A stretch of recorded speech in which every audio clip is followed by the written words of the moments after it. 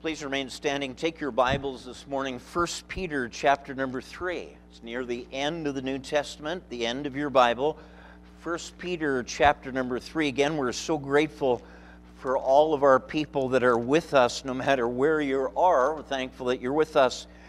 We have on Sunday mornings, our people would know we've been going through this little book of 1 Peter. It was written by the Apostle Peter, just a short book, just five chapters long. We know that it was written about 60 AD, and the theme of the book is Christian suffering. During this time that Peter wrote this, believers were under tremendous persecution. The Roman government was not favorable to the Christians at that time, and so Peter wrote this to encourage those Christians. Chapter 1, he reminded them about what it took to become a Christian.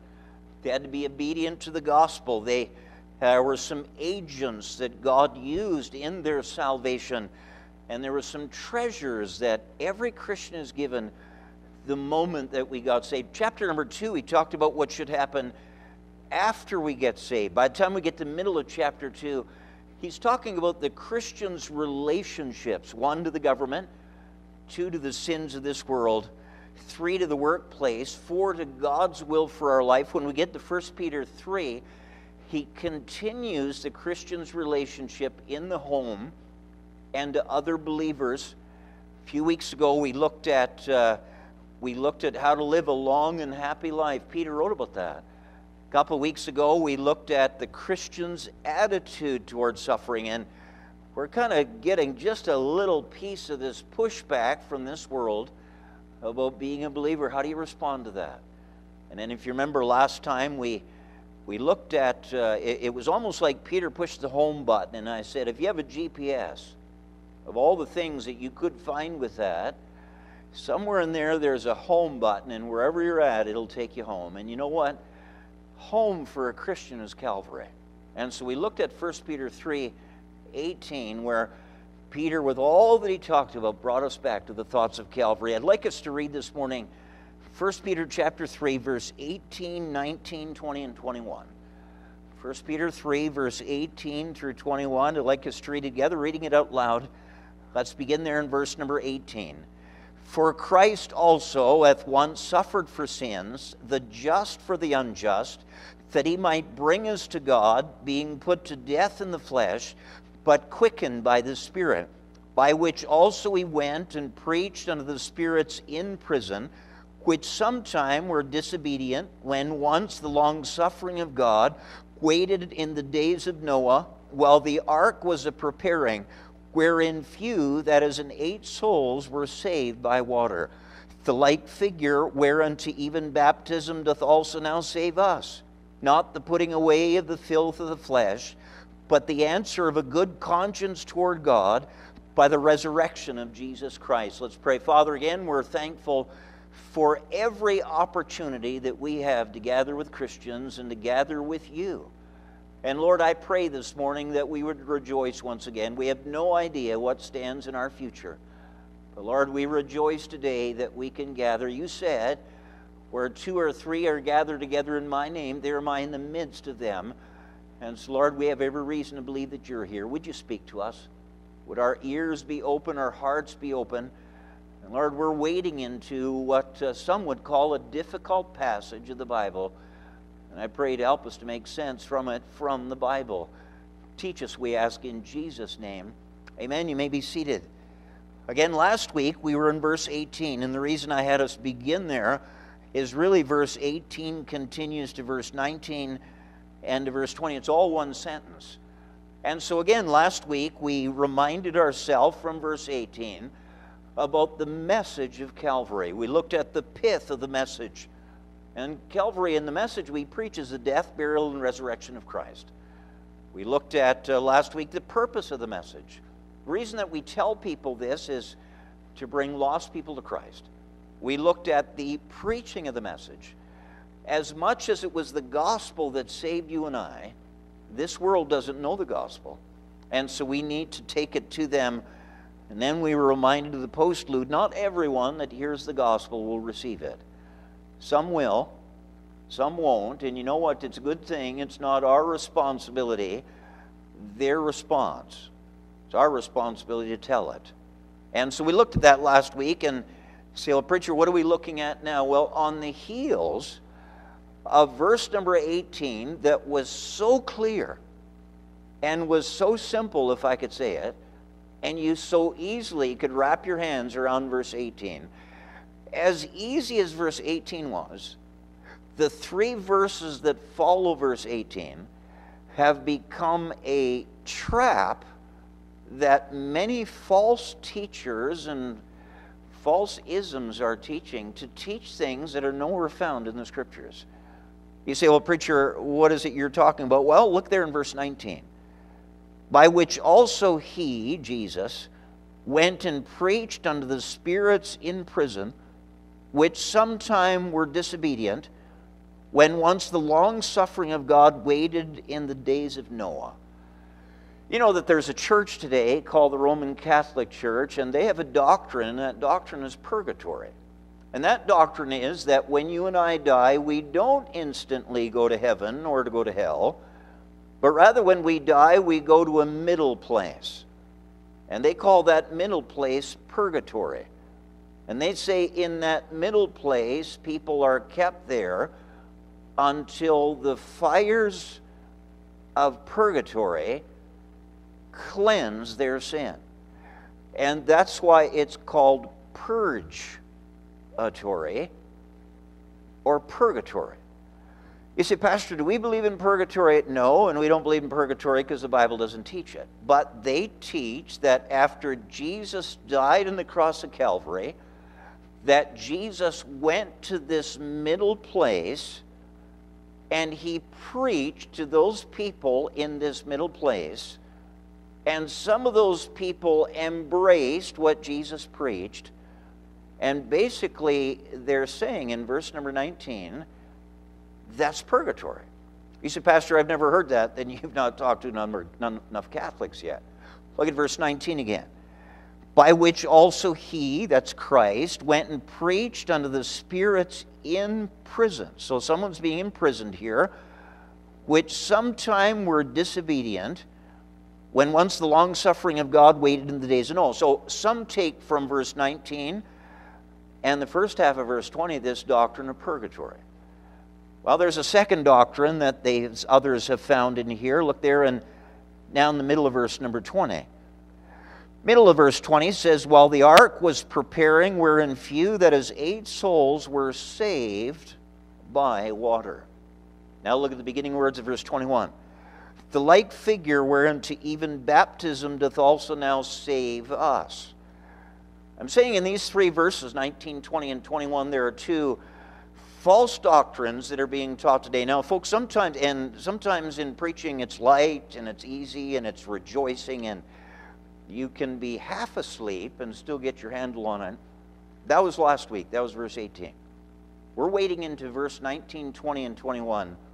You can't sleep you have to pay attention because this is what's called deep doctrine. And if you aren't careful in these verses, you'll buy into either purgatory or you'll buy into the second false doctrine. And the second false doctrine is baptismal regeneration. Preacher, I've never heard of that term before. Baptismal regeneration is the idea that your faith in Christ alone will not get you to heaven. It's the teaching that you have to, yes, place your faith in Christ, but you also have to be baptized in water. And though your faith in Christ is necessary, it's also necessary to be water baptized, for they teach if you're not water baptized, you're not saved. You say, Pastor, how would anyone find that in the scriptures? Look again at the middle of verse 20. The Bible talks about Noah while the ark was preparing, wherein few, that is, eight souls, were saved by water. Then look at verse number 21. The like figure whereunto even baptism doth also now save us. It's not hard to see how they have taken those words to teach that doctrine. And we know that even in our town here, as we have knocked on doors, handed out tracts, witnessed to people, we know that inevitably you run into some that believe in purgatory. You know that we run into some that believe if you're not baptized, you can't get to heaven. And I'm saying to you that many of them would like to use these verses to support that, as clear as chapter 3, verse 18 is. This verse 19, 20, and 21, it's not quite as clear. And so this morning we get to tackle it. Say, Pastor, really? We systematically go through the book of Peter, and this is the next text. If you're writing titles, I know many of our do.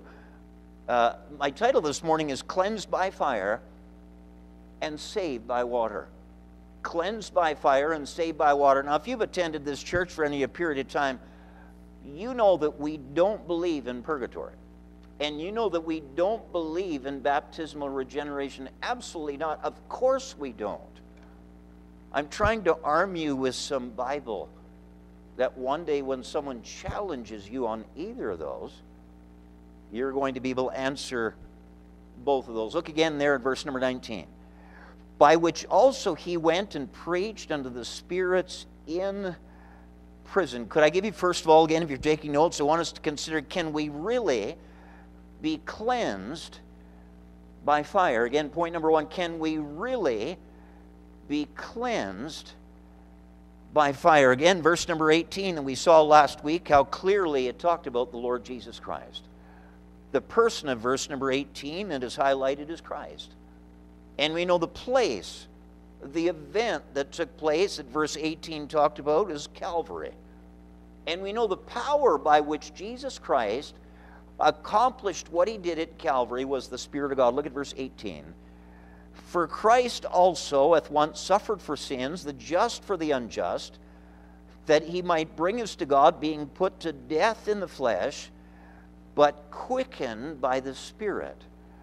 And so, verse number 18, we've all, we already dealt with that. But then on the heels of that, look again at verse 19 by which, well, what's that? That's talking about by the Spirit there in the end of verse 18. So, by the Spirit, He, He is Jesus Christ. So, again, uh, right around this time of Calvary, by which also He went and preached unto the spirits in prison.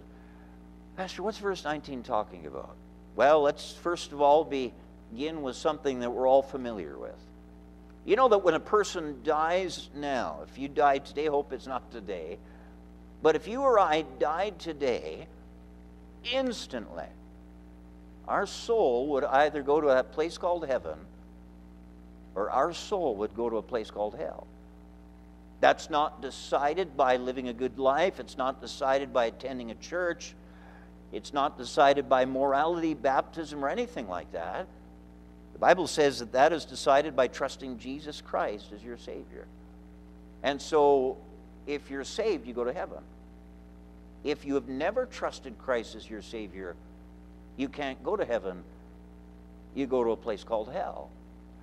We're familiar with how it happens now. In other words, if I drop dead right now, you would deal with my body, but that real part inside of me, my soul, would either instantly be in a place called heaven or be in a place called hell.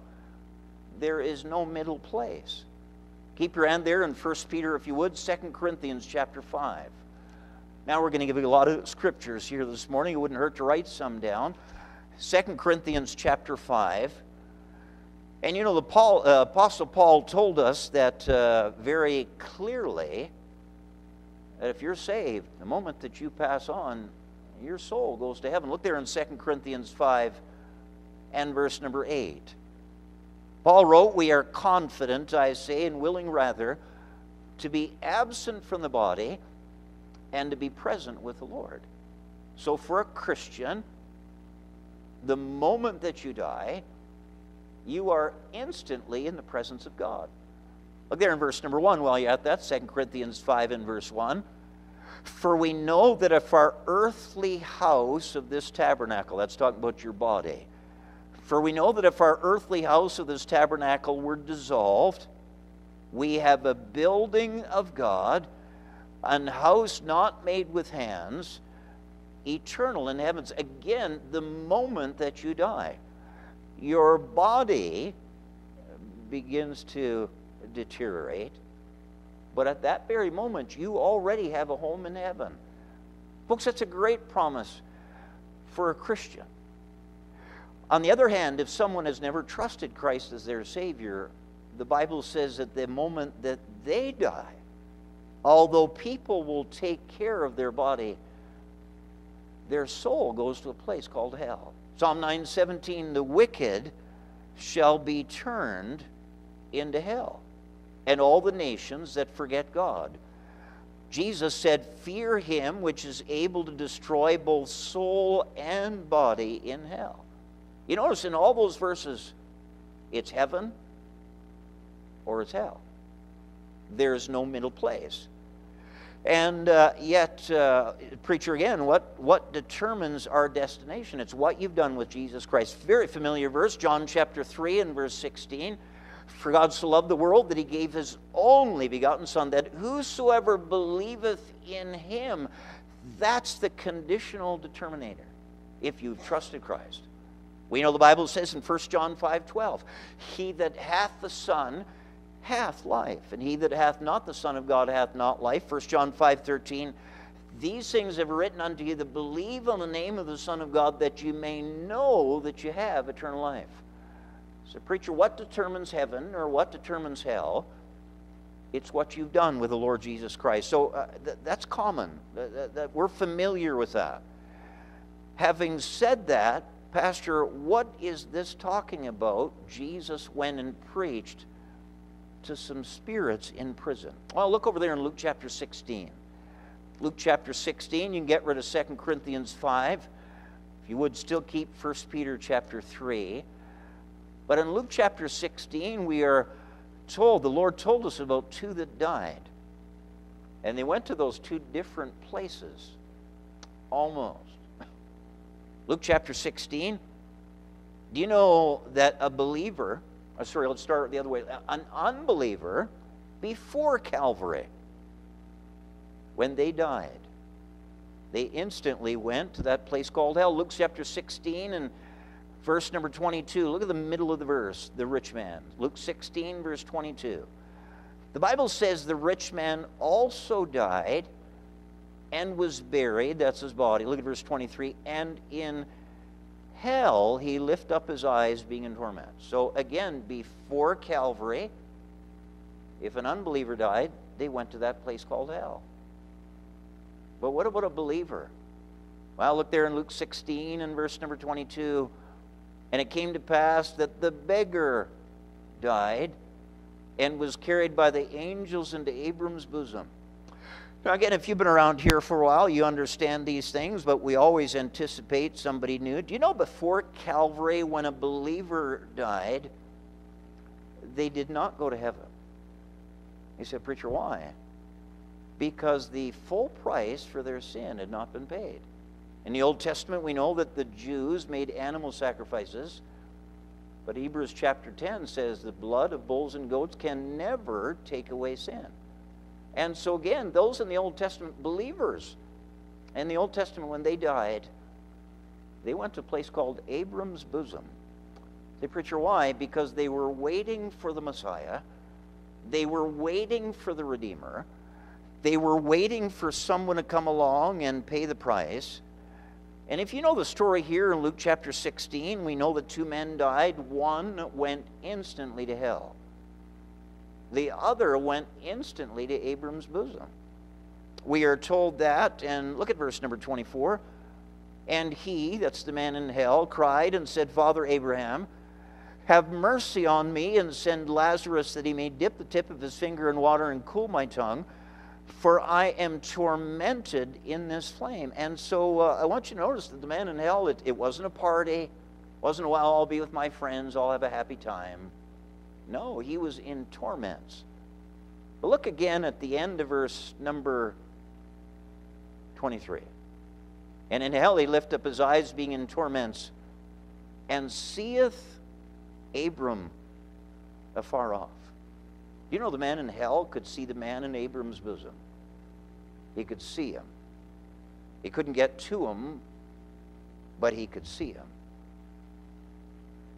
I'm telling you that before Calvary, everyone that died went into the lower parts of the earth. There was two compartments. One was hell, The other one's Abram's bosom. Look there in verse 25. But Abram said, Son, remember that thou in thy lifetime receivest thy good things, and likewise Lazarus evil things, but now he is comforted, and thou art tormented. And beside all this, between us and you, there is a great gulf fixed, so that they which would pass from hence to you cannot, neither can they pass to us that would come from thence. I'm saying to you, before Calvary, down deep in the heart of this earth, there was that place called hell. It's still there. Lost people still go to that place called hell. But there was another place down in the center of the earth. It was called Abram's bosom. It was also called paradise. Do you remember when Jesus hung on the cross and said to that repentant thief, This day shalt thou be with me in paradise? I'm saying that they went to both places. You say again, preacher, why is it that they went to Abram's bosom? Because they were still waiting for the Messiah. They were still waiting for someone to pay the complete price of redemption. They were being held down there until Calvary's price was paid. And although those Old Testament saints had done all that God required them to believe, they weren't able to pay for the redemption of their sins. And they waited for someone else to do that. And when Jesus was nailed to the cross of Calvary, and paid the full price for our sins.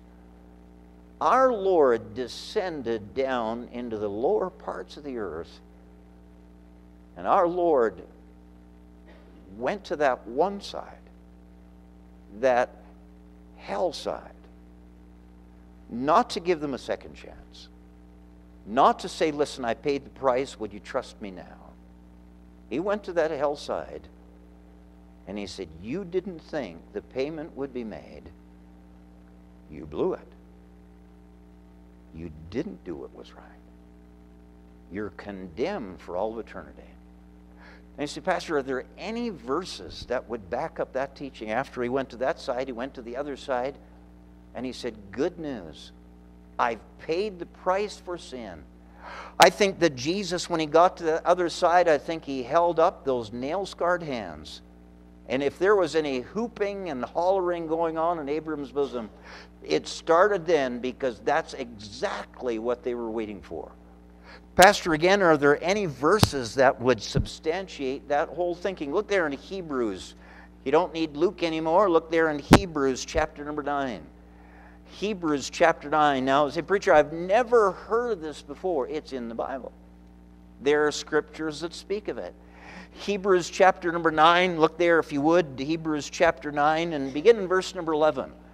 Hebrews 9 and verse 11. But Christ, being come and high priest of good things to come, by a greater and more perfect tabernacle, not made with hands, that is to say, not of this building, neither by the blood of goats and calves, but by his own blood. He entered in once into the holy place, having obtained eternal redemption for us. For if the blood of bulls and of goats and of the ashes of an heifer sprinkling the unclean, sanctifying the purifying of the flesh, now watch verse 14, how much more shall the blood of Christ, who through the eternal Spirit offered himself without spot to God, purge your conscience from dead works to serve the living God? Stop for a moment there. That's that word purge. Remember purgatory? Folks, there's no way that fire will ever purge anyone's sins.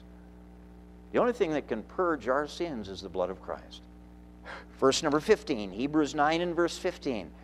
And for this cause, he, Christ, is the mediator of the New Testament, that by means of death, that's Jesus' death, for the redemption of the transgressions, that were under the first testament. They which are called might receive the promise of eternal inheritance. Now, now, you know what? You and I, after Calvary, we look back at Calvary and say, that's when my sins were paid for. And if we each have a testimony of trusting Christ, the day I trusted Christ, Jesus' blood from Calvary was applied to my sins. I'm saved. I'm redeemed. I'm cleansed by his blood. But you know those Old Testament saints? As they were being held in that place, Abram's bosom, also called paradise, they waited. They waited for a Redeemer. They waited for redemption. And I don't know if you caught it because we read verse 15 pretty quickly.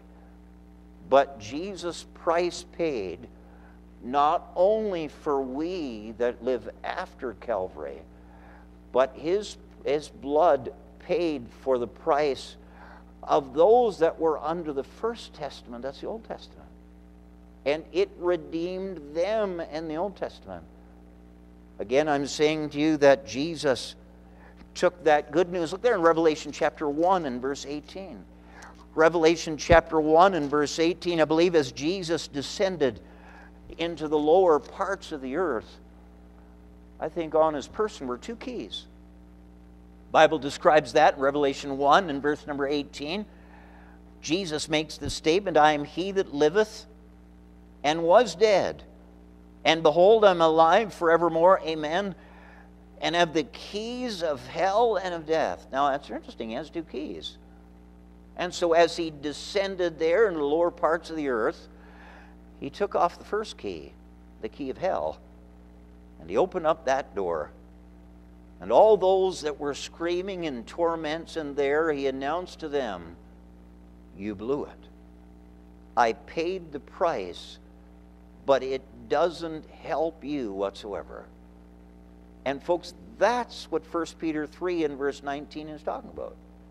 He preached to the spirits in prison that once had been disobedient in the days of Noah. Well, their disobedience landed them in that place. He stepped out of that, that place, used his key to lock that door. He was the only one that was able to go across that great gulf. And with the second key, the key of death, he opened up that second place, and again, he said, Good news. I've paid the price for your redemption. You are now redeemed. Let's go. What a great truth. And it's a great truth that uh, we find there in 1 Peter chapter number 3 and verse number 19. I'm saying to you, he had no good news to preach to those in hell. And yet he had every bit of good news to preach to those in Abram's bosom. Again, if you would, uh, on your way there, look at 1 Peter chapter 3. 1 Peter chapter 3 and verse 19, by which also he, Jesus, went and preached unto the spirits in prison, which sometime were disobedient, when once the long suffering of God waited in the days of Noah. Preached to disobedient people, you blew it. Then he went to the other side and he preached to them a completely different message. Pastor, where does the Bible talk about that? Look at 1 Peter 4 and verse 6. 1 Peter chapter 4 and verse 6. For for this cause was the gospel preached also to them that are dead, that they might be judged according to the men in the flesh, but live according to God in the Spirit. Say again, preacher, I've never heard of this before. Acts chapter number 2. Let me give you just a couple more verses. Acts chapter number 2. We know that uh, when Peter stood up on the day of Pentecost, Peter made uh, Peter preached a message, and of course, three thousand believed after he preached what he preached. But right within that message, look there in Acts chapter number two, and begin there in verse twenty-two. Acts chapter two and verse twenty-two. You men of Israel, hear these words. Jesus of Nazareth, a man approved of God among you by miracles and wonders and signs, which God did by him in the midst of you, as ye yourselves also know, him being delivered by the determinate counsel and foreknowledge of God, ye have taken, and by wicked hands have crucified and slain. Now, think of for a minute. This is the day of Pentecost. Pentecost, Penta, five. Pentecost is 50 days after the Passover. It was on the Passover that those Jews cried out, Crucify him. According to Deuteronomy chapter 16 and verse 16, every Jewish man was required three times a year to go to Jerusalem to worship. They went on the day of the Passover, they went on the day of Pentecost. they went on the day of the Feast of Tabernacles. These people that were standing here in Jerusalem that Peter preached to, these people were in Jerusalem 50 days before. They were the ones that cried out, Crucify him. Now, 50 days later, Peter's putting it on them. Look there again in verse number 20, uh, 23. Him being delivered by the determinate counsel and foreknowledge of God, ye have taken, and by wicked hands have crucified and slain, whom God hath raised up, having loosed the pains of death, because it was not possible that he should be holden of it. Now, he's, he's not tiptoeing around the truth. You were the ones that were guilty of crucifying Christ. No wonder at the end of his message, people said, What do we do to fix it? No wonder they did. But back to Peter's preaching. Keep going there. Look at verse 25. He's just talked about this resurrection of Christ in verse 24. Verse 25 For David speaketh concerning him. So David wrote something, said something about Christ. I foresaw the Lord always before my face for as he is on my right hand, that I should not be moved. Therefore did my heart rejoice, and my tongue was glad. Moreover, also my flesh shall rest in hope, because thou wilt not leave my soul in hell, neither wilt thou suffer thy Holy One to see corruption. It looks like Peter is saying, You remember when David said that God wouldn't leave David's soul in hell? Well, Peter's about to correct that misunderstanding. He's saying when David said that, it was a prophecy of Christ at Calvary. Keep reading there in verse 27. Because thou wilt not leave my soul in hell, neither will thou suffer thy Holy One to see corruption. Thou hast made known to me the ways of life. Thou shalt make me full of joy with thy countenance. Men and brethren, let me freely speak unto you, Peter speaking, of the patriarch David that he is both dead and buried, and his sepulchre is with us unto this day. So Peter is saying, David wasn't talking about himself. Because he said, David is still buried. We know where his tomb is. Well, who is he talking about? Verse number 30. Therefore, being a prophet, David, and knowing that God had sworn with an oath to him, that of the fruit of his loins, according to flesh, he would raise up Christ to sit on the throne. He's saying, David wasn't talking about himself. David wasn't saying God didn't leave my soul in hell. Well, then who is he talking about? He was talking about Christ. Keep reading. Verse 31 He, seeing this before, spake of the resurrection of Christ, that his soul was not left in hell, neither his flesh did see corruption. Pastor, are there any other scriptures that tell us when Jesus died on the cross and they laid his body in the tomb that his soul went down to hell? Peter's message on the day of Pentecost. Now, let me clarify something. Jesus in hell wasn't suffering. He paid the full price for our sin when he hung on the cross of Calvary. That's why he said, It is finished. But our Lord Jesus did go down to that one side. And he said, You blew it.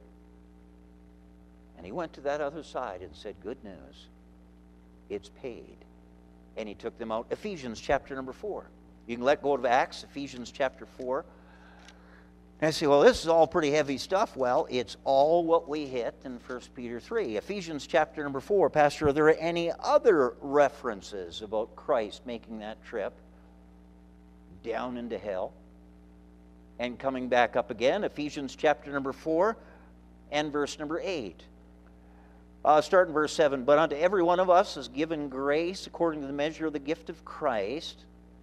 Wherefore he saith, When he, Christ, ascended up on high, he led captivity captive. So when our Lord ascended, he took someone with him. It says he took somebody that had been in captivity, he took them with him. Keep reading. Now, verse 9, now that he ascended, what is it but that he also descended first into the lower parts of the earth? He that descended is the same also that ascended up far above all heavens, that he might fill all things. I'm trying to say to you this morning that the teaching of purgatory is not true. When you die, when you breathe your last breath, you either go to a place called heaven because you've trusted Christ, or you go to a place called hell because you did not trust Christ. There's no middle place, there's no middle ground. And if someone chooses to use 1 Peter chapter 3 and verse 19 to suggest that Peter was giving somebody a second chance, there are no second chances. Our, cha- our opportunity to trust Christ is here and now. In fact, 2 Corinthians chapter 6, the Bible says, Behold, now is the accepted time. Behold, uh, now is the day of salvation. Folks, it's not fire that saves anybody. It's not fire that cleanses anyone of their sins. 1 Corinthians chapter number 3. Pastor, I, I was sure somewhere fire was involved in a judgment. 1 Corinthians chapter number 3, when you and I stand at the judgment seat of Christ, look there in verse number 13. And Christians stand at the judgment seat of Christ, 1 Corinthians 3:13. Every man's work shall be made manifest, for the day shall declare it, because it shall be revealed by fire. And the fire shall try every man's work of what sort it is. You know, if you're saved this morning, the moment that you die, you are instantly in heaven. And the Bible says that all of we who are in heaven one day will stand at the judgment seat of Christ. We're there because we're saved. But everything that we have done for Christ since we got saved, that will be judged by fire. And that fire, for some people, all their works will be wood, hay, and stubble. It's gone. Others who have served the Lord genuinely, sincerely, that'll be rewarded. Again, let's go back there to 1 Peter chapter 3. 1 Peter chapter 3, I recognize we're wading into deep waters. We're looking this morning at cleansed by fire and saved by water. Pastor, can we really be cleansed by fire? No. Only the blood of Christ. What can wash away my sins? Nothing but the blood of Jesus. What can make me whole again? Nothing but the blood of Jesus. Oh, precious is the flow that makes me white as snow. No other fount I know. Nothing but the blood of Jesus. Back there, look in 1 Peter chapter 3.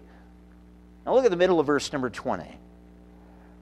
Get there with a name Noah, middle of verse 20. Noah, while the ark was preparing, wherein few, that is, eight souls, were saved by water. Pastor, I find that pretty confusing. You know, the second teaching that is circulating around, it's been around for a long time, is this idea that you need to be water baptized to be saved. And they'll use the end there of verse number 20. Eight souls were saved by water. That's talking about Noah's day. Noah, his wife, his three sons, they each had a wife. That was eight. And we know that Noah was told to build that ark, and we know what, that Noah was told. The Bible says he was a preacher of righteousness. And so as they built, they preached. They built, they preached. They built, they preached. And one day when that ark was done, God brought those animals to that ark. And they, they preached in hopes that more people would get in. We know that uh, there's no record of anyone else getting in that ark with them. And the Bible says the rains began to fall 40 days and 40 nights. That's what this verse is talking about. But I want you to think, I want you to use some common sense. Did the water really save those eight? Of course not. It was being in the ark that kept them safe from the water. I've been in discussions a number of times in soul winning with, uh, with Church of Christ people that think you have to be water baptized to get to heaven. And they've taken me to this verse, and they said, the verse very plainly says, eight souls were saved by water. So I said, You think the water saved them? I said, They didn't even touch the water. I said, in fact, the rest of the world was the ones that touched the water. So if you're saved by water, the rest of the world was saved, and those eight weren't saved. Well, you know, they've got a bit of a problem with that. That doesn't make any sense. And if you've ever dealt with these people, they have circular reasoning. As soon as you start nailing their toes down here, they go to the next one, and they go to the next one. And so look at the next one they go to. Look there in verse number 21. The like figure whereunto even baptism doth also now save us. You say, oh, Pastor, I, I'm not much for arguing with people, but doesn't that sound pretty convincing? Bible makes it very, pretty clear, Pastor, the like figure whereunto baptism doth also now save as well. A couple of things. First of all, it says it's a figure, it's a picture. But I want you to notice the second thing there's not a period after the word save us. Do you know what I've learned in all these years? You always want to watch what a cult won't read. You always want to watch where they stop. Look there again in verse number 21 the like figure whereunto even baptism doth also now save us, not the putting away of the filth of the flesh. Oh, well, hold on a minute. no wonder they won't read any further.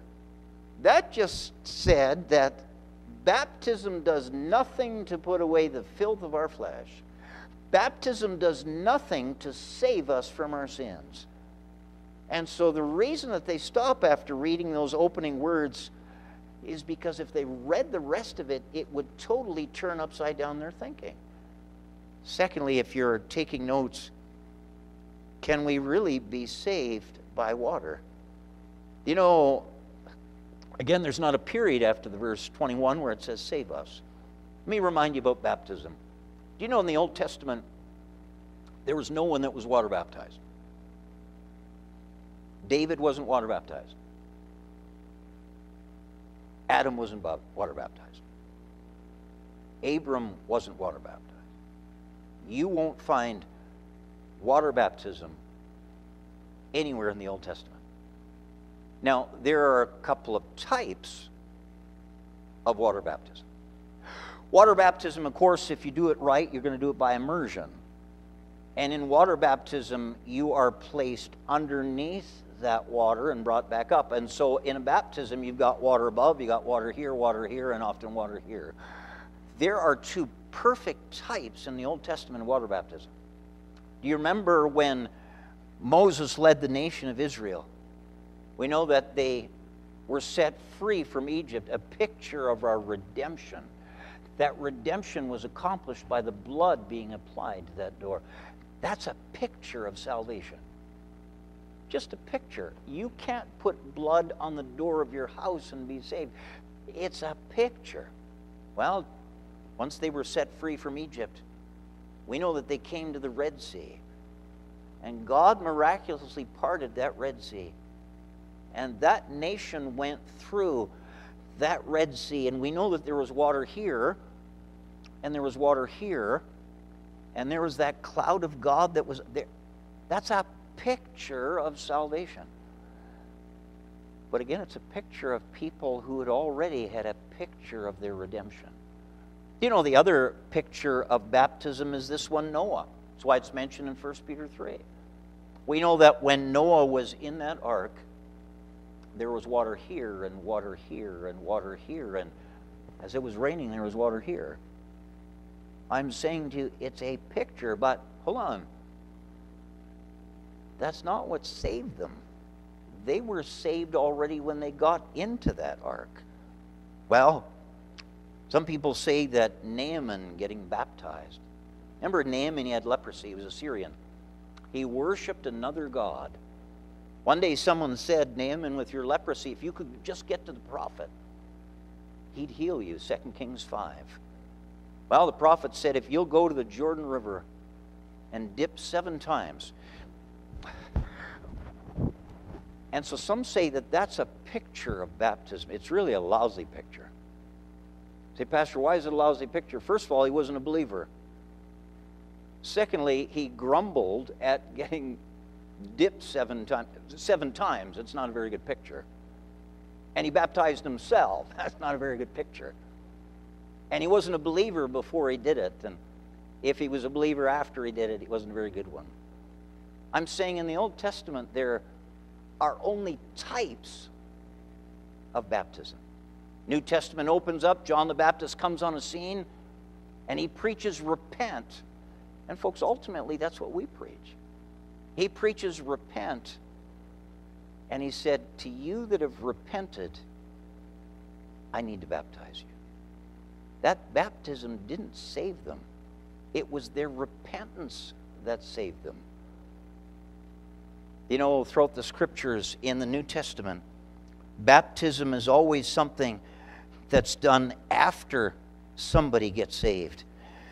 Look there again, if you would, in 1 Peter, uh, before you do, Acts chapter number 8. Acts chapter number 8, probably the very best passage to turn someone to to help them to understand about water baptism is Acts chapter number 8. We know here in Acts chapter 8, the Bible tells us, verse number 5, about a man named Philip. Then Philip went down to the city of Samaria and preached Christ unto them. So Philip preached the gospel. There were many people that when they heard the gospel, they got saved. Look there in verse number 12. But when they believed Philip preaching the things concerning the kingdom of God in the name of Jesus Christ, they were baptized. So after they were believers, they got baptized. Well, you know the story. We know that Philip was seeing a great revival taking place in Samaria. And to Philip's disappointment, I would think, look at verse 26. And the angel of the Lord spake unto Philip, saying, Arise and go toward the south, unto the way that goeth down from Jerusalem unto Gaza, which is desert. And I don't know, I would. Lord, this is a great revival going on here. You want me to leave this and go to a desert? Really? And you know, sometimes the ways of God are not the ways of man. And so he did.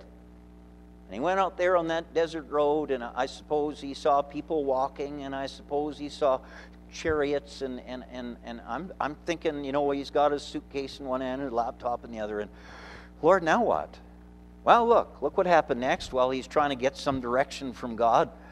There in verse number 29, uh, then the Spirit said unto Philip, Go near and join thyself to this chariot. So the Spirit of God told him, I want you to go talk to that man. Lo and behold, he gets to that man, and that man is reading the scriptures, not saved, reading the book of Isaiah. And look there in verse number 34. And the eunuch answered Philip and said, I pray thee, of whom speaketh the prophet this? Of himself or some other man? Then Philip opened his mouth and began at the same scripture and preached unto him Jesus. Philip said, Let me tell you about what's happening. And he gave him the gospel. He told him that Christ had died for his sins. He told him that all the price had been paid. And all that you need to do is receive it. And you know, we believe that that Ethiopian, Ethiopian eunuch bowed his head and trusted Christ. And I think Philip, as any good soul winner would, Philip said, Now, let me tell you about the next step, and let me tell you what should follow next. And he wasn't about to leave that chariot, he had a new convert. And he began to tell him all these things. And watch what happens there in Acts chapter number 8 and verse number 36. And as they went on their way, they came unto a certain water. So they, these two are in this chariot. And they come across some water, be it a river, a stream, a pond, a lake. Verse 36 And as they went on their way, they came unto a certain water, and the eunuch said, See, here is water. What doth hinder me to be baptized? Now that's the question, isn't it? You know, Philip's answer is not found in the New Bible versions. If you have an NIV, Acts 8:37 isn't there. If you have a New American Standard, it's not there. Do you know Acts 8:37 is the strongest verse in the entire Bible that you have to be saved before water baptism means anything in your life. He said, What doth hinder me from being baptized? Look at verse 37. And Philip said, If thou believest with all thine heart, thou mayest. You know what Philip said? You got to be saved first. You got to be a believer first. Watch this new convert's answer in the end of verse 37. And he answered and said, I believe that Jesus Christ is the Son of God. You know what? What a testimony. He said, I am a believer. Verse number 38 And he commanded the chariot to stand still. And he went down both into the water, both Philip and the eunuch, and he baptized him. And when they were come up out of the water, I'm saying to you that's the clearest text in all of Scripture. Back to 1 Peter 3, I'm almost done. 1 Peter chapter 3, we have looked at two questions. Can you be cleansed by fire? Is there a place called purgatory? No. Only way to be cleansed is by the precious blood of Christ. Pastor, can we be saved by water? No. Water baptism is the first step after you're saved. Look there again, 1 Peter 3, verse 21. The like figure, whereunto even baptism doth also now save us. Now notice it, very next thing is a bracket. A bracket in English language is always extra material. So for just a moment, we never correct the King James Bible, but for just a moment, let's take out this extra material and let's get the beginning and the end to get the statement. Verse 21, the like figure, wherein even baptism doth also now save us. Look at the end of the bracket. By the resurrection of Jesus Christ. You know the first truth about baptism? It's a picture. It's a picture of the resurrection of Christ. Jesus died on the cross, Jesus was buried, and Jesus rose again. And that's why when we baptize people, they're standing in that tank. We ask them if you trusted Christ as your Savior. If they say yes, we say, upon your profession of faith, we now baptize you in the name of the Father and the Son and the Holy Spirit, buried in the likeness of Christ's death, and raised. You know what? Baptism is a picture.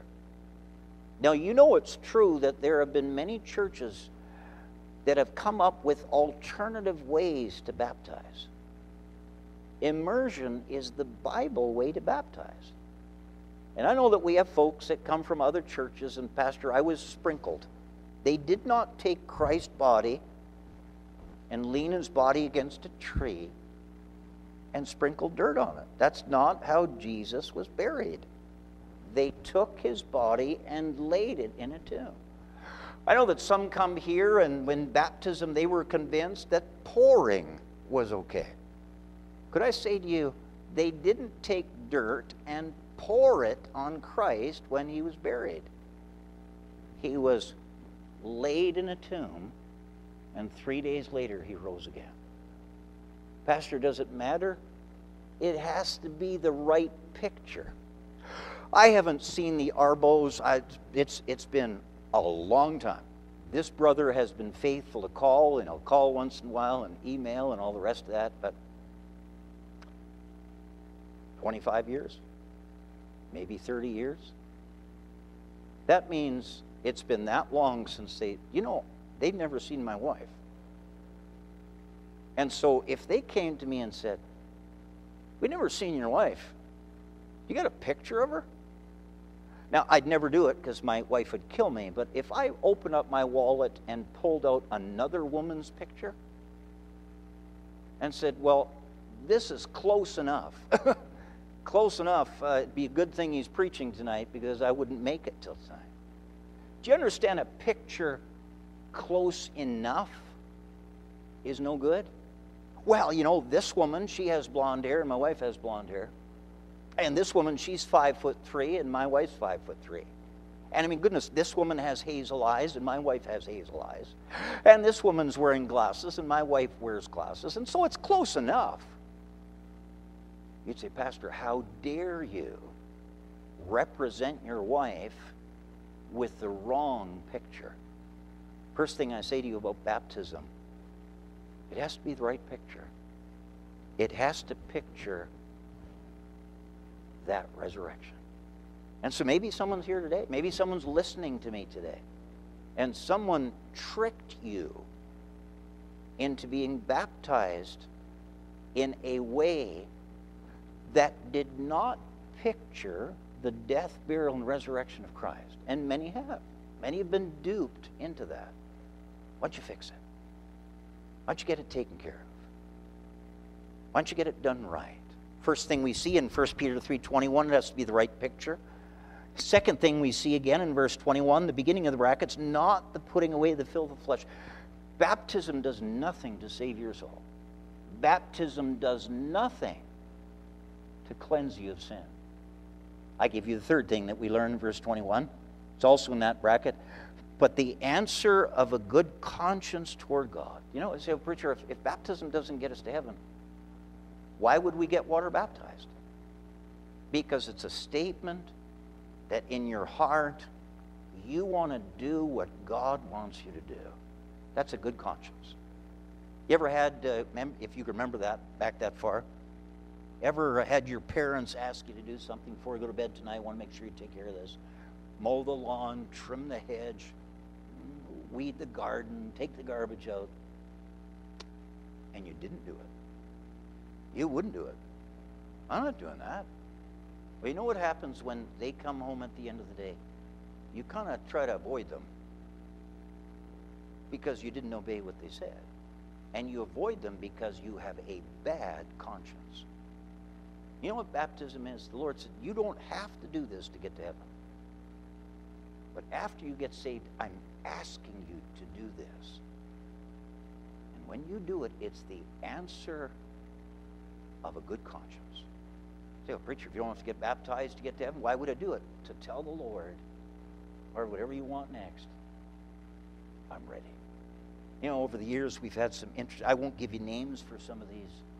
I remember when we were still in the Elks Hall in those first few years, I preached on baptism. And I explained from the Bible about baptism. And one of our men came to me after the service on his way down those elk stairs, if you uh, were with us way back then. And he stopped me and he said, Pastor, he said, I, I know that everything that you're saying about baptism is right. And, preacher, I know that I should get water baptized. He said, Preacher, I'm saved. And I know that's the next step. I'm just going to wait till we're in our own building before I get baptized. And I said, Brother, we might be in this rental building for 10 years. And we were.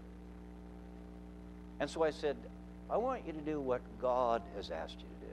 I can't make you. But I said this to him. I said, and, and this makes sense.